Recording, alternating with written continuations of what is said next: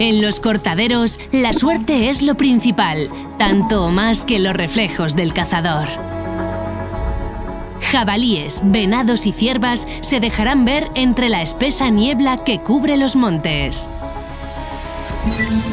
Lunes 6 a las 20.30. A la suerte del cortadero.